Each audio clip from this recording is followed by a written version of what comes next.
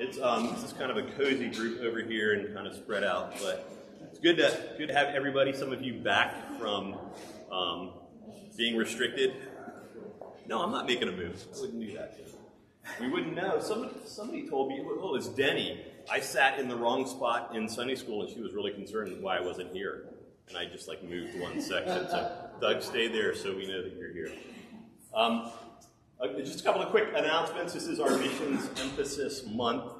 There is a, a um, RSVP slash flyer in the back. So if you grab one of those and fill that out about your plans to attend our missions conference weekend at the end of the month. So sign up for numbers coming, meals that you would like to um, be present for, nursery needs if you have those, and um, help if you're willing to help.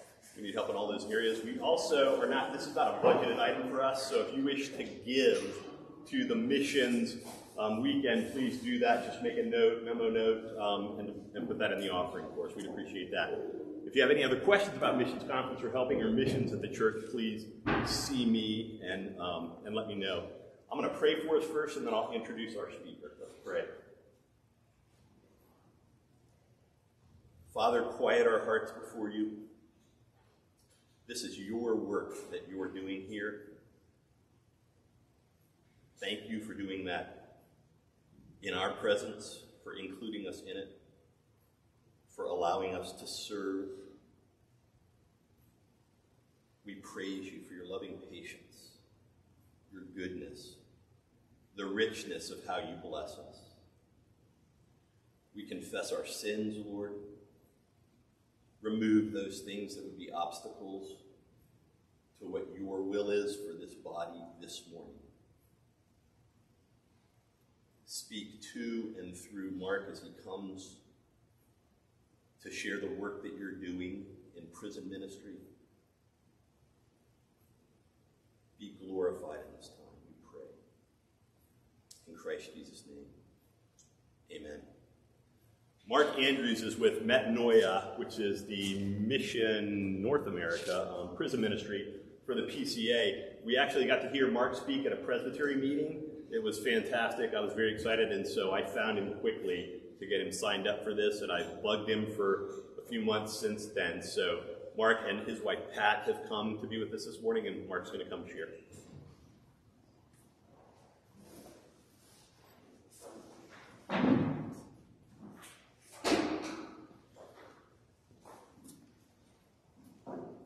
Good morning. Thank you for, uh, for hosting me and, and uh, coming to my talk. I really appreciate it. Um, my wife and I are here. We've been uh, married 36 years now. We have uh, six kids and 12 grandchildren. And um, we actually didn't come to Christ. I'll tell you a little bit about my background until later in life. Um, I was actually raised in an alcoholic home. Um, uh, it was fairly dysfunctional, and when I was 14, I started doing drugs. I did almost every drug you could do, and when I was 17, my parents kicked me out of the house. I said, do what we say or get out of the house, so I got out. Um, at that time, there wasn't many options. I was trying to go to high school, watching pots and pans in a country club, and trying to think places to spend the night. Uh, so I joined the Navy, and I uh, traded an authority structure that I thought was oppressive for one that truly was.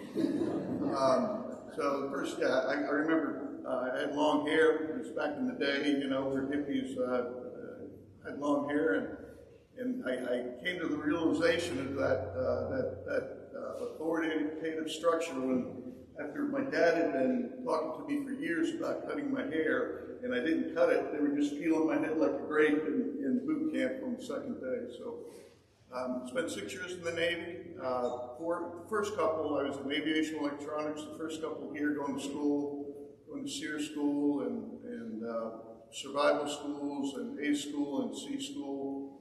Um, then I went over to Spain. I was part of an air crew, about 25 people. I was telling the pastor and some of the elders earlier that we had one Marine that flew with us, and he was supposed to guard the crypto. They didn't trust the Navy guy to guard something with their life, so they got a Marine to do it for him. And he was actually supposed to destroy the crypto when they do it. But we flew off the coast of Libya and East Germany and Russia, developing signal intelligence uh, uh, and uh, electronic intelligence, trying to map air defense systems. And you know, I was pretty much a, a, a punk when I went into service, but the service can make a 17-year-old punk into somebody who's responsible, and I appreciate what the Navy did for me.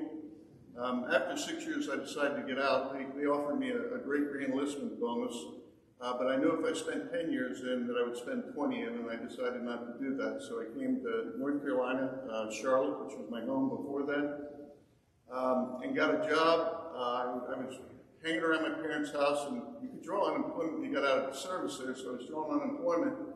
But you had to go to two job interviews a week, and the first job interview I went to was with IBM.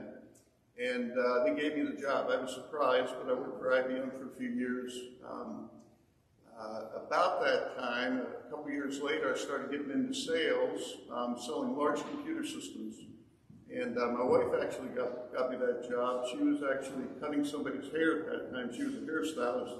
One of her clients was a sales manager, so he hired me, and it was very lucrative. Um, I did that for a few years, and then uh, myself and two uh, two other believers, two other uh, Christians, started a company around computer services. And um, that company uh, grew to be about 60 people. Uh, we were actually um, selling a solution to the office of CFO, um, you know, ExxonMobil, Dick's Sporting Goods, uh, Family Dollar stores were all our clients. We were actually a boutique shop that did, we had a specific niche in the financial uh, market, and everybody in the company had a degree. Uh, about 75% of them had MBAs or were CPAs. And here I am, uh, high school dropout with a GED, uh, managing sales within the organization. So, uh, uh, you know, God really has blessed me, and that's one of the reasons I'm in this ministry is, a blessing that God's given to me. But um, uh, you know, metanoia is Greek for repentance. That's uh, what we're about as an organization. Mark Passon's the director. Mark actually was in the Army and got um, arrested and was facing three life terms in prison for what he did. And um, while he was waiting for the trial to start uh, in jail, in the local county jail, he actually became a Christian. And he went to his lawyer and said, I want to plead guilty. And his lawyer said, Why, you, you're crazy. We, we should negotiate this. And he said, No, I am guilty. And the prosecutor, because he um, recognized what he had done, actually dropped two of the charges. Uh, he went to jail for 16 years um, and uh, was, was part of ministry in jail. Um, so he, he actually leads the organization after spending that time together. Um, there's three other regional directors. Um, I'm fairly new. I came on board right before COVID, and uh, COVID hit. And uh, ministry shut down in a lot of ways. I was going to uh, Mecklenburg County Jail and teaching a Bible study on a weekly basis and the emotionally challenged um, the, uh, jail, um, and uh, uh, trying to get into uh, organiz- to into the prisons, correctional institutions themselves to support in, in prison mentoring, which is one of the things I'll talk about a little bit later. But all that shut down. So the prisons have been shut down, churches were shut down for a while. Uh, it's been an experience after being a sales guy and, and wanting to look at the numbers. Uh, my boss came up to me one time and said, how do, you, how do you judge success? I said, well, the amount of prisons I get into, the amount of people who sign up for correspondence ministry. And he said, remember, Mark, ministry is more about changing you than it is you changing the world. And I think that's true in a lot of ways. And ministry has always been a blessing to me. Um, I've been a ruling elder in the PCA for, for about uh, 25 years now. Um, I forgot to talk about my Christian experience. Pat and I were going to church. She wanted to get married in a church. She had two children from uh, previous marriage. Neither of us were believers. She was raised Catholic. I was raised non-church. The gospel in my family was God helps those who help themselves. And I really thought that was the gospel until, uh, until I became a Christian. Um, but uh, Pat and I went to marriage, uh, a marriage series of classes that we had to go to to get married, and God started opening up our eyes. The first church we went to, uh, they, they, weren't talking about the Bible too much, and we said, uh, why, why don't you all open the Bibles? Is, is, this social service month or something? They said, no, if you want to learn about the Bible, you should go up to that Presbyterian church up the street. That's how we became PCA. And uh, my first pastor really mentored me well. He, I'm from New Jersey originally. Um, you know, in New Jersey, the 11th commandment is thou shalt confront often and vigorously, and in North Carolina, it's thou shalt not confront. So Um, I was a pain in the neck to him in a lot of ways, but he was certainly a blessing to me and, and, and uh, gave me a real grounding in the faith. Um, but uh, where, where I got here, I, I, we sold the company in 2015, about 60 employees. I worked a two-year earnout uh, with the company that purchased us. Then I had a couple VP of sales jobs. And it was really, I, I was just uh, wrestling with this. What used to excite me didn't excite me anymore. And I felt like God was pulling me to ministry. Um, but, uh, you know, some people listen to God's still small voice. I'm a big stick Christian. He hits me with a stick and I listen. Finally, I said, okay, God, I get it. You want me to go in ministry? What do you want me to do? And the next week, I was at Uptown Church in Charlotte where one of my grandchildren was getting baptized. And um, uh, the uh, pastor, Tom Hawkes, was preaching on um, service, Christian service, and mentioned metanoia. So I called metanoia the next Monday, and I was on board a week later. So, um, I, you know, God really spoke to me, and, and, I appreciate that. But there's a few other directors uh, besides myself who are up there. Uh, we are hiring more directors. We hired one more. He's not listed here in Florida. Um, it is an itineration um, ministry where, where people have to itinerate. Um, I have some funds coming in, but itineration, God's blessed me financially because of uh, the company I sold.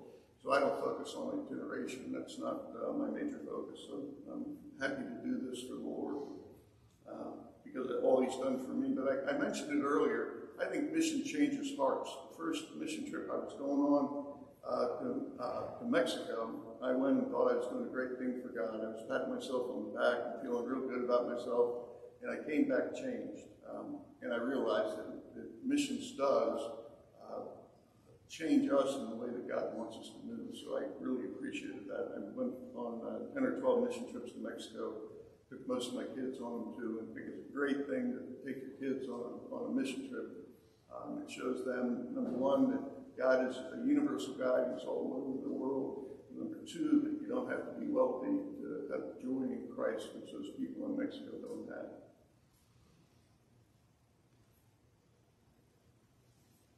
Um, when you look at the criminal justice system in the United States, there's 2.4 million people in prisons. Um, we by far have more imprisonment than, than any other country in the world. Um, a bunch of people on pro, uh, parole and probation. But there is um, 650,000 people coming out of those prisons every year.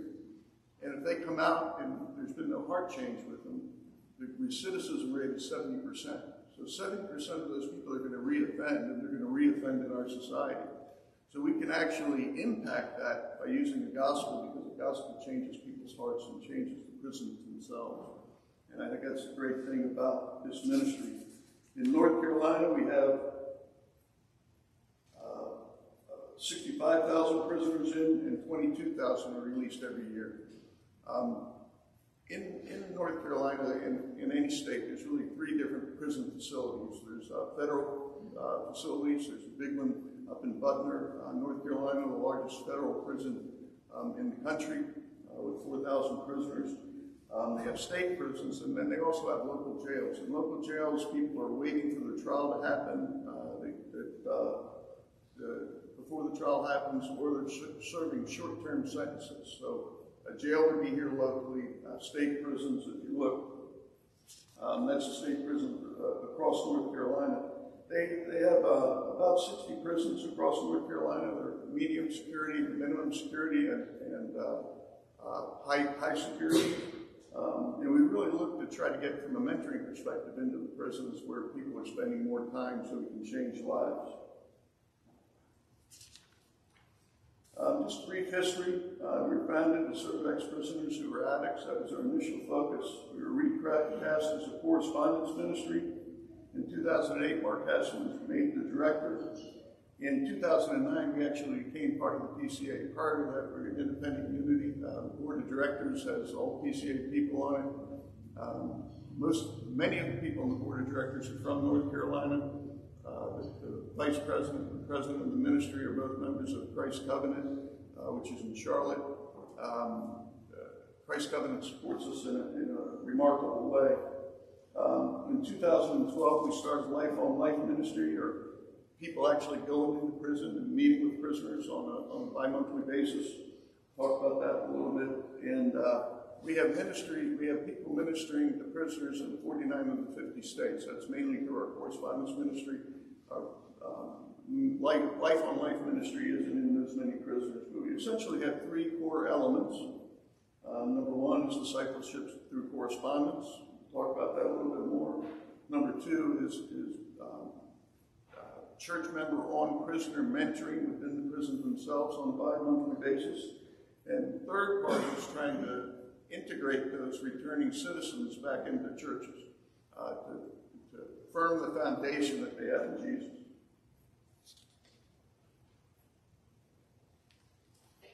Um, the remote correspondence ministry, we, we work with over 5,000 prisoners in this ministry. We actually send them a, a booklet, um, and they have a corresponding partner in, in, a church that has signed up for this, and there are some sign-up sheets in the back if you'd like to look at it. But it takes about an hour and a half or two hours a month. Uh, the prisoner fills this out with reform material, sends it back to, to our corporate headquarters, so it never, it never is uh, you, these prisoners never have your home address, and men and women, men and women can do this, and there are women prisoners we work with too. Um, but they actually fill this out, and it's sent to the, the, partner, and he grades it and tests it and sends it back with personal correspondence and the next booklet. Um, they actually have a, a guide that describes the process. It's really easy to follow and they have an answer to the test. So you, you know, you know, so you don't have any problems answering the test. You got cheat sheets to help you. Um, that happens on a bi-monthly basis. It's really the key part of our ministry that's open right now because the prisons in North Carolina are closed. Uh, but it's a great way um, to really connect with these people. You know, I always want, always wanted to look for people to disciple. You know, we're going to talk about the Great Commission a little bit later, but always wanted to look for people to disciple and uh, you know never knew where to start. But this gives you the opportunity to work with somebody who wants to be a disciple, who is a, a uh, one of the least of these in prison, and um, gives you the opportunity to help grow them in Christ. And that, I, that's a joy to me. You know, I was asking one of the pastors who actually participates in this ministry, has two correspondence partners, what he saw helped him, being a pastor and having to minister to 150 people in his church. And he said he gets back to the basics. He really likes that. Um, you know, he, he doesn't deal with the basics too much, but he gets back, back to the basics. And they're hungry disciples. These people are on again.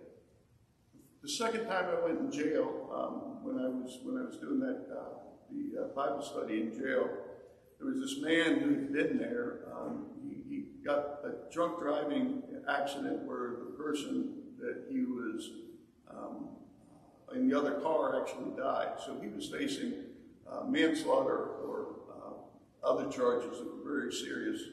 And his grandmother had been a, a, Christian, talked to him about Christ for a lot of years. And there's a lot of Muslims, this man was a black man, there's a lot of Muslims in prison, and they were trying to get him, to talk to him about the Muslim faith. But he, he had said he'd been reading the Bible for six weeks and hadn't had the opportunity to talk to anybody about it, but that he wanted to commit his life to Jesus. And we actually uh, say, you know, uh, led him to the Lord during that process. But, you know, that's the second time going to jail, and there's just joy in bringing people to, to Jesus. So I, I, appreciated that. But uh, this minister um, said he also has the chance to minister to people not like us. You know, often in our Christian huddles, uh, we stay within our own uh, circles, but he has that chance. But the major thing that Sincel that he liked, he said, he said it's exciting to see the Holy Spirit working in the inmate's life. He said, one inmate he was working with said, in prison I feel more free than I've ever felt in my life. And that is the freedom that Jesus offers us, whether we're in prison or not, freedom from uh, that kind of lifestyle. So that's part one of the ministry, remote correspondence. Uh, number two is one-on-one in-prison mentoring. Um, I'm going to talk about uh, a medium security prison that we started working with eight years ago in upstate Georgia. There's 420 inmates within this prison. Um, we, we launched in-prison mentoring where, it, to, to, begin with, 15 people were going into prison on a bi-weekly basis, uh, trying to disciple these men and develop personal relationships with them in Christ. Uh, before COVID hit, we had 144 people going in on a bi-monthly basis um, talking about Jesus to these prisoners. um, it really changes hearts. Um, they, they go on Monday, Tuesday, and Thursday night. There's a waiting list right now of about 200 prisoners. So if we had people in churches that wanted to do this, we would have 200 more people in that prison. Um, the recidivism rate at Walker after five years is 2%. I told you earlier the standard is 70%. So you see how it's impacting lives and changing lives. Um, we can't do this yet in North Carolina because the prison is closed, but as soon as they, as soon as the prisoners uh, start again, that's going to be one of our focus areas.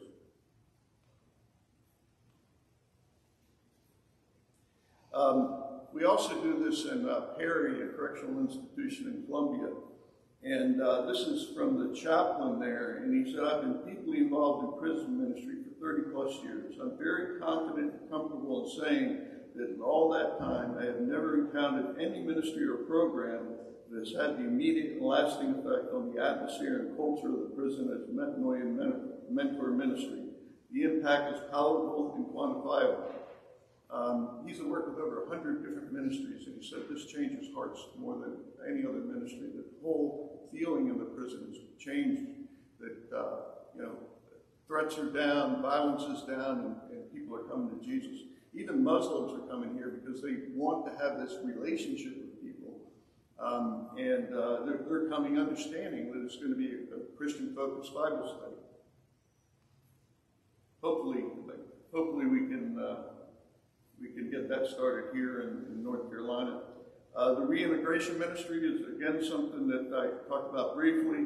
Um, we try to have somebody develop a relationship with a with a uh, with an offender um, a year prior to being released.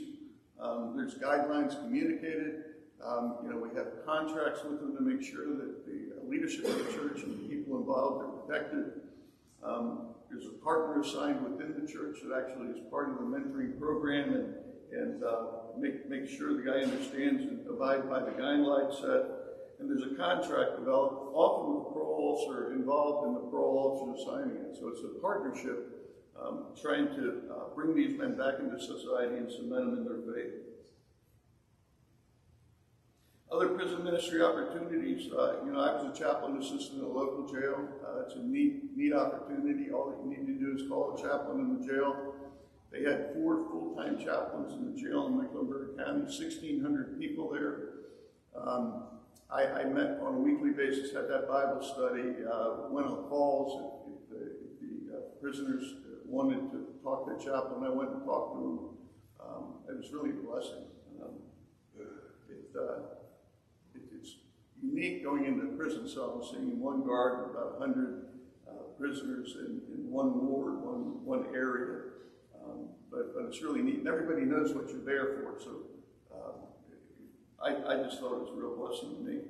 Um, there's also preaching in jail and prisons. Uh, if you ever want to preach or you have students that want to preach, it's a great opportunity for them. Bible studies I've talked about. Um, there's also minimum security pickup in the minimum security prisons in North Carolina and the other states. Uh, people go out to jobs, so they're not there during the week a lot of times, but on Sunday often you can pick up uh, an inmate in minimum security uh, prison, uh, bring them to church and bring them to lunch. So there's that opportunity too. These aren't directly part of Metanoia, but if your heart is for, uh, for people in prisons, I can certainly help you in any of these areas. Um, you know, what's the Bible say about prisoners? Um, you know, Paul was in chains, uh, talks about prisons a lot. Talks about the sheep and the goats in Matthew um, 25. You know, Jesus said, uh, the disciples said um, to Jesus, uh, let, me, let me look that up, I'm sorry. You know the verse that's escaping me at this moment.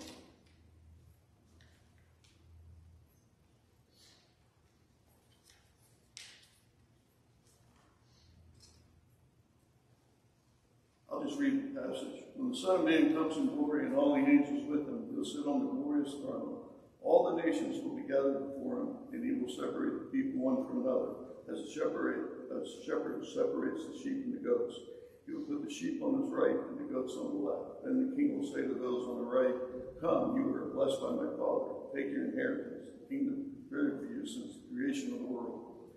For I was hungry, and you gave me something to eat. I was thirsty, and you gave me something to stranger, and you invite him in. I needed clothes, and you clothed me. I was sick, and you looked after me. I was in prison, and you came to visit me. Then the righteous will answer, Lord, when we see you hungry and feed you, or thirsty and give you something to drink? When we see a stranger invite you in, or needing clothes and clothe you? When do we see a sick or in prison go to visit you? The king will reply, Truly I tell you, whatever you did for the least of these and brothers and sisters, you did for me. You talking about sheep and goats, and we all know in the Presbyterian Church we're saved by grace, not by works. But we are called to works. And Jesus said, As you treat the least of these, you treat me. So you have the opportunity in this ministry, spending an hour and a half, two hours a month, to actually come alongside people in the name of Jesus and for his sake.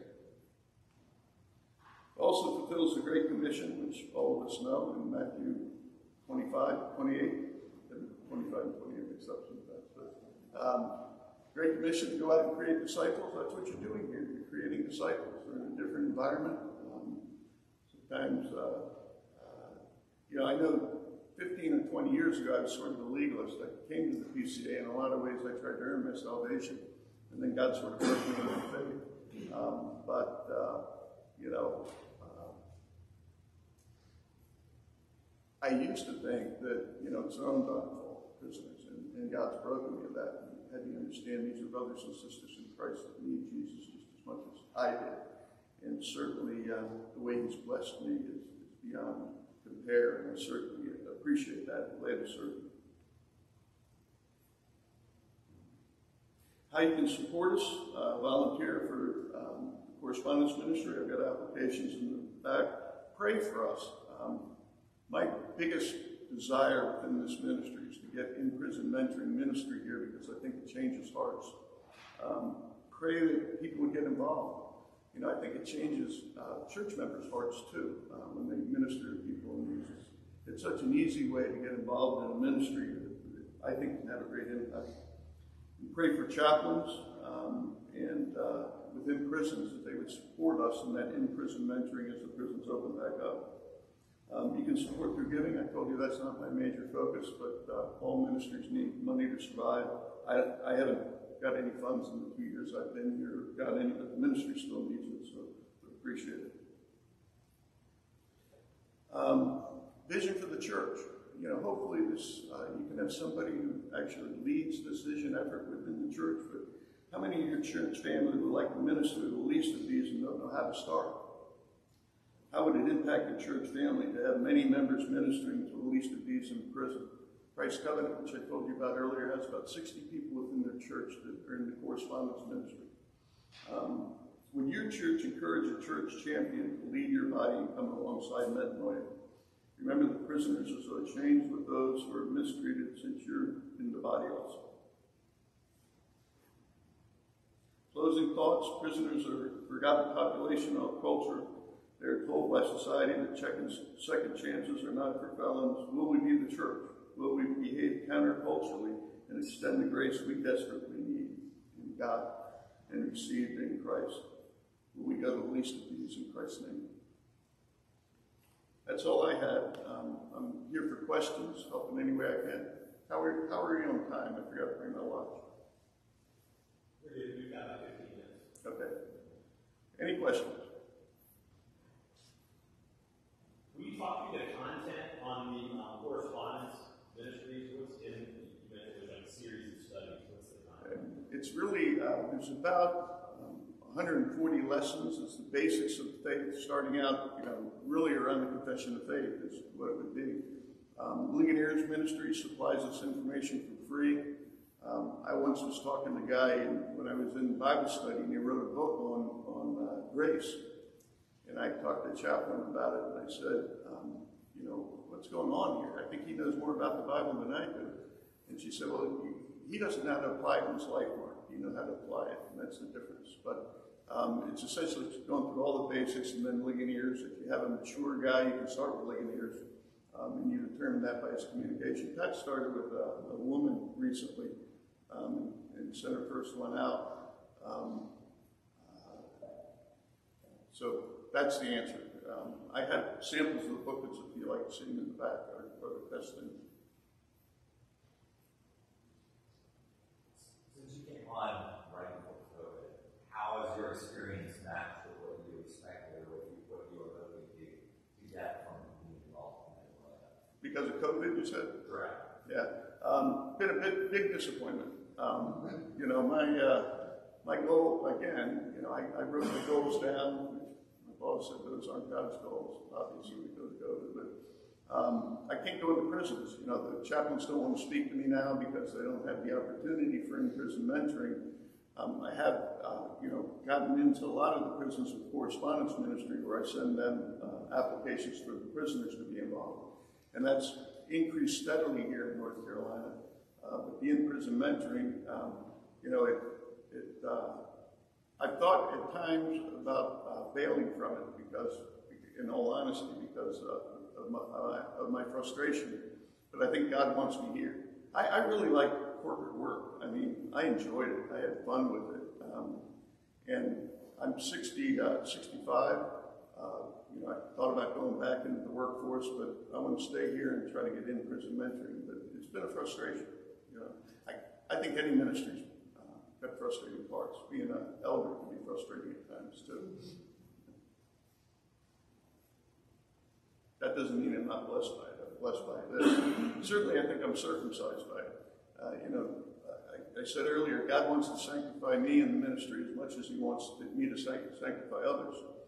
And uh, God does that through um, sometimes means that, you know, being a big stick Christian where you've got to pick upside and beat up with stick. Being a big stick Christian, sometimes he's got to do it through, uh, through difficult circumstances. You know, in all honesty, uh, that one man on the second time I'm in, in a jail in Mecklenburg County that wanted to know how to come to Jesus, that's all the ministry had as part of it. Uh, that benefit God's came and blessed me. So I, I had frustrations, but I also had joys.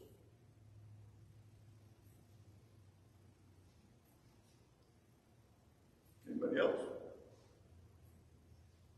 Do prisoner demographics are different state to state? Are there unique challenges that North Carolina provides that Texas prisoners uh, have a different, different challenge?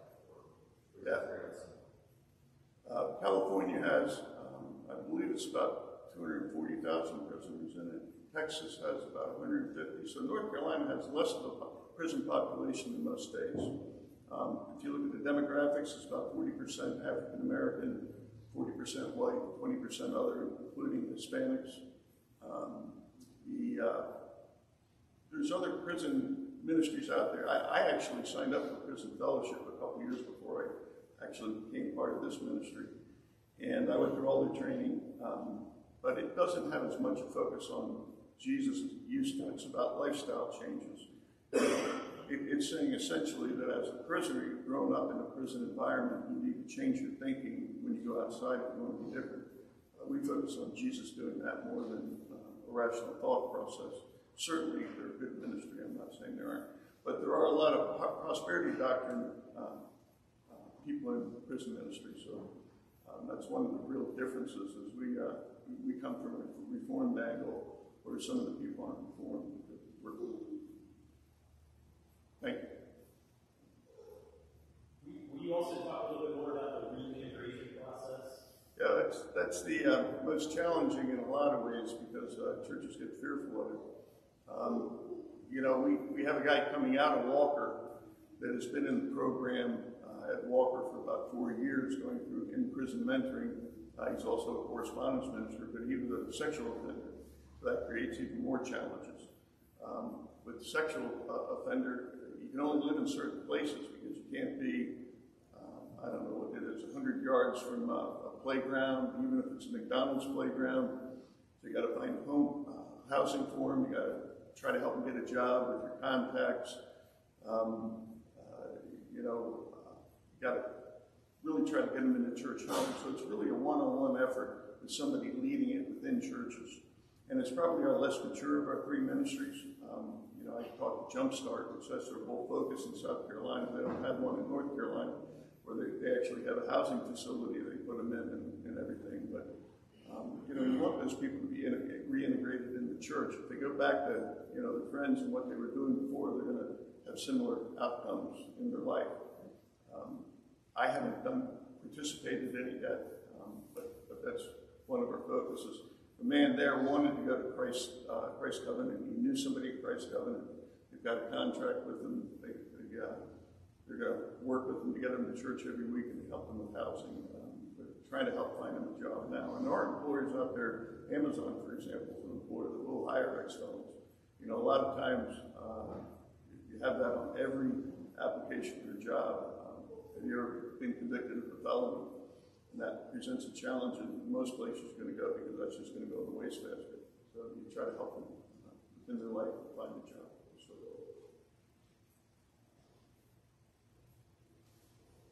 With the correspondence industry, um, a lot of our folks aren't here for more than a couple of years. Can you stick, how long does that program last? Can you stick with somebody if you move from here to California or Virginia? Yeah, certainly. There's no, uh, that's one thing nice about the correspondence ministry. There's no um, geographic focus within it. I went to a church in Raleigh and they asked us to provide a geographic focus to churches in Raleigh, and we're trying to do that. Um, but there's no mandate for that, and, and, all that you need to do when you change an address is call um, Shelley, who's the administrator of that program within our organization, whose, whose husband is in prison, by the way.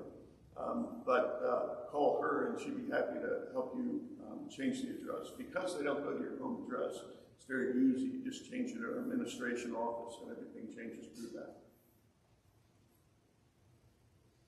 You Thank mentioned that there were people that doing correspondence in forty-nine out of fifty states. I'm sorry, I didn't hear you. You mentioned that there was correspondence in forty-nine out of the fifty states. Yes is that uh, a correspondence, is that uh, a prison not happening in the fiftieth state? What state is that? Uh, that's 49, uh, 49, in 49 of the prisons within the country, we're communicating with prisoners within those locations. What state is missing? Huh? What state is missing? What state is what? Forty-nine of the fifty states. Uh, I don't know. I'm sorry. It's a good question. I, I should know that. That's my job. And what, maybe not that's what, why is that state not involved? Is it an issue of local prison systems? Is it an issue of bodies on the outside? Yeah, it's, it's, uh, people within the prison are communicating with us, and I don't, I don't know what, you know, we, we've had a focus, we had the national director and this regional focus, which I'm part of, is fairly recent, um, started about four or five years ago. So there's some states where, you know, we're not sending information to them, nobody's actually, uh, addressed the, the prisons within that state, trying to get them active. Um, but that's the real reason. You know, this, this federal prison up in, in, uh, near Raleigh and Butner, uh, Bernie Madoff was there, you know, very high, uh, exposure, um, prisoners there, and that's the prison I'd really like to get into with one-on-one mentoring, uh, because it's, uh, it's, it would lead, I think, to a lot of other prisoners, uh, embracing it.